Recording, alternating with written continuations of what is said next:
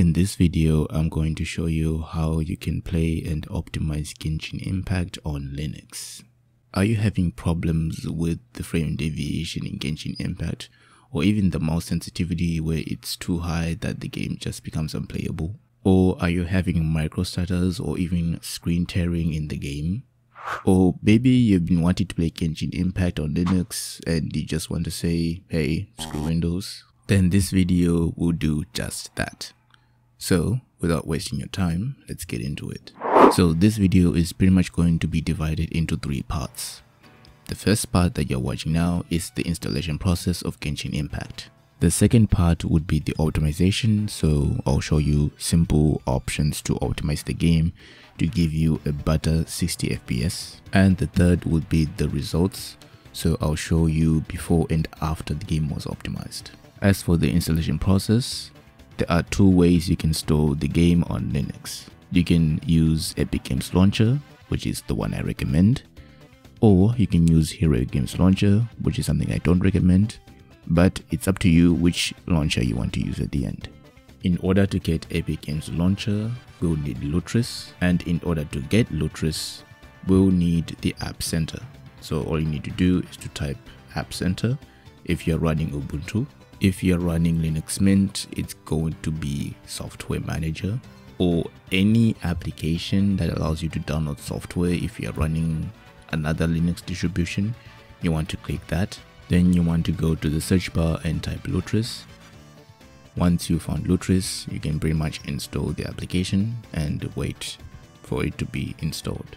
Now, in other Linux distributions, you might not have a problem finding Lutris but if you do, for example, in my case, I couldn't find Lutris in Ubuntu, don't worry, I'm going to show you another way of installing Lutris through the terminal.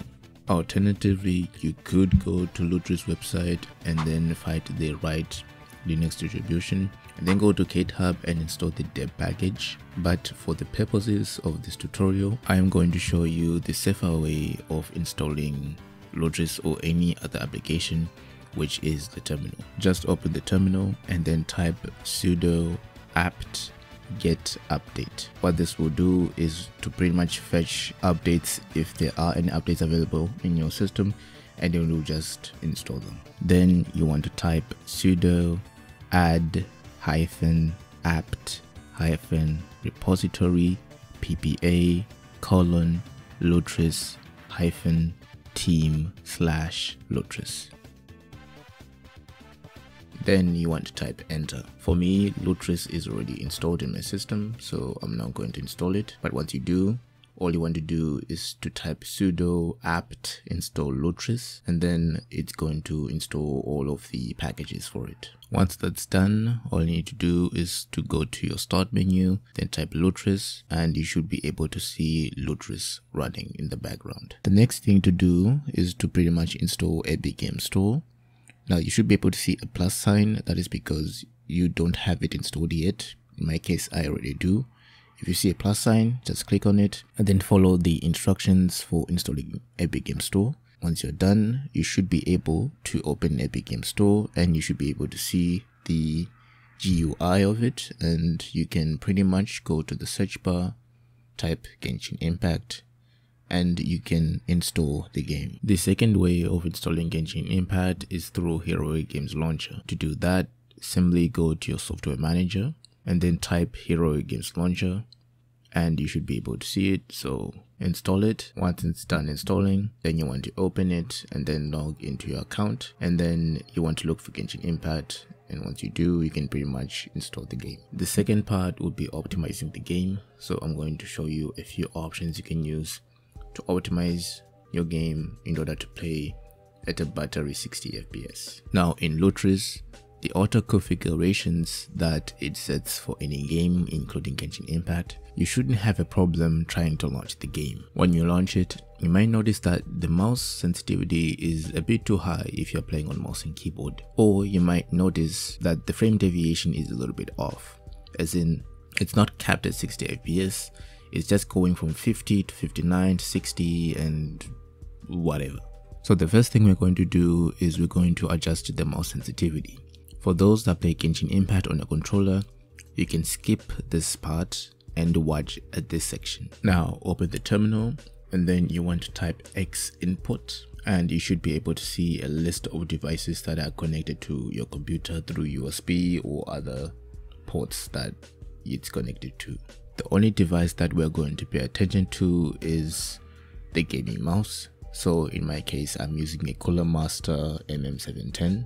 You'll be, be using a different mouse. So you might be using a Logitech mouse or even a Glorious O mouse, a Final mouse or Razer mouse. Whatever mouse you're using, you should be able to see it in the terminal. If you do, then that's a good thing. If you don't see your gaming mouse listed or any device that's listed, so if you're seeing like generic mouse or generic device, then you are most likely running a Wayland server. In fact, if you type the X input command on a desktop server like Wayland, then you might get a warning saying, hey, you're trying to run this on a X Wayland server. Now for me to explain to you what a desktop server is and why these two desktop servers even exist, that is beyond the scope of this video. So if you do get a warning in the terminal and in order to switch from X Wayland to Xorg, simply log out. Then you want to click on the account. And before you enter your password you should be able to see a setting icon at the bottom right of your screen. Then you have the option to choose either ubuntu which is wayland or ubuntu Xorg which is the actual Xorg desktop server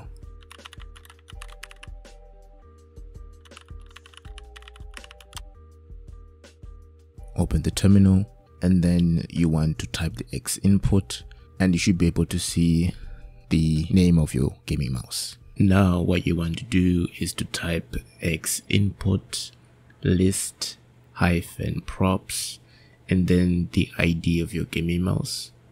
In my case, it's number 10. For you, it might be different. So whatever number you have, just enter that and then type enter and you should be able to see a bunch of stuff listed. Don't worry, we're not going to focus on every single thing listed here. We're only going to focus on two things. That is this one and this one. Now what you want to do is to open a text editor and you want to copy paste these commands in the text editor and I will leave these commands in the description. The first thing we're going to do in these commands is we're going to change the name of our gaming mouse so that when we do this, it's actually going to take effect. So in my case, since I'm using a Cooler Master MM710, all you want to do is go to your terminal and then whatever your gaming mouse is, if it's Logitech or Final Mouse, you want to copy the name of that mouse and you want to put it between the brackets, just like so and then you do it for the second command. So what the first command does is to enable or disable mouse acceleration. So in my case, it is set from 0 to 1. This means that the mouse acceleration is disabled. For you, it might be 1 to 0. If that's the case, just change it from 0 to 1. And by doing so, you will disable mouse acceleration. The second command is going to be a personal preference thing and what this command does is to adjust the speed of your mouse and this command not only applies for Genshin Impact but for any game that requires mouse and keyboard and adjusting the speed of the cursor is pretty much important. If your cursor speed is a little bit too slow when you swipe the mouse, you can use 2.5 for example and this will actually increase the cursor speed or if you have a huge mousepad like me then you may want to actually lower this number. So for me it's going to be negative 0.3 i find this to be the best. If you want to you can go lower than that so negative 0.5 or 6 so like i said this is going to be a personal preference thing. Once you are done you want to save it as an sh file so it's going to be a bash script. For the name you can use whatever name you want. In this case i typed it in Excel then go to your home directory because that's where you most likely saved the bash script file. Once you found it, open the terminal and then you want to launch this bash script in your terminal. You can simply drag the bash script and then put it in your terminal and then you want to type enter and congratulations you have disabled mouse acceleration and you are able to adjust the cursor speed of your mouse.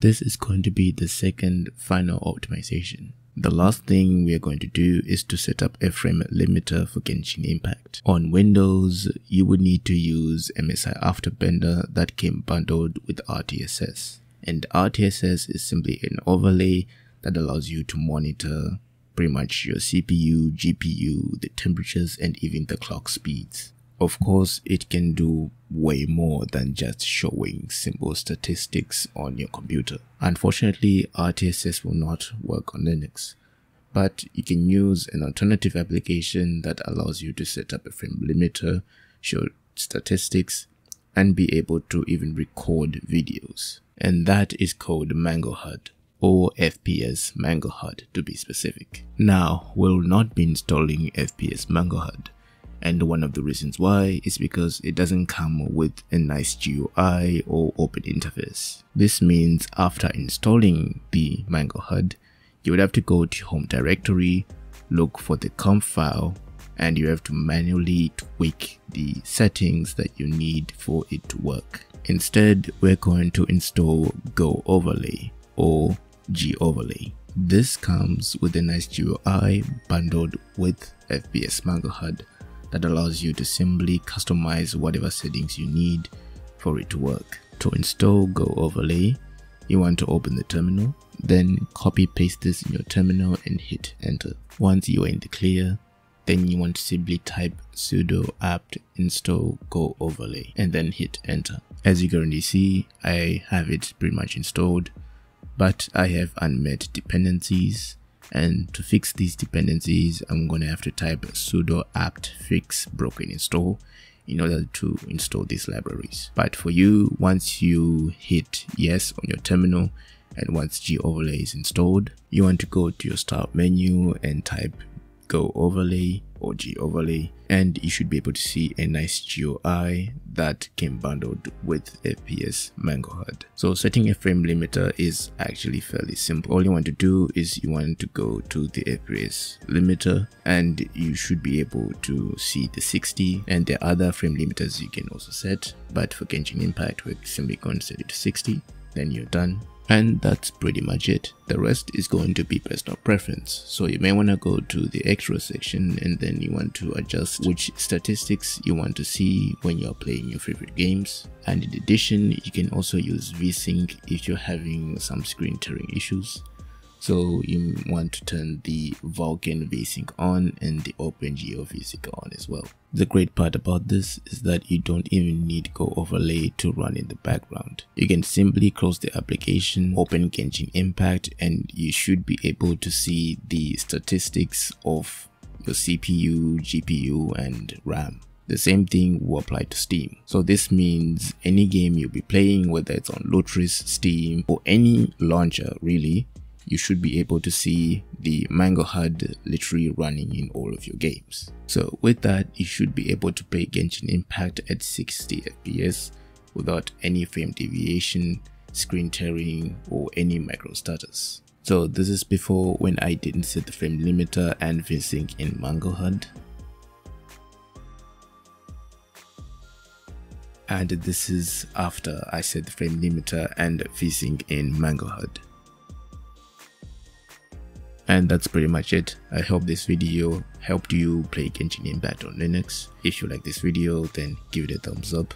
And don't forget to comment below. With that being said it's your boy Dualry and i am signing out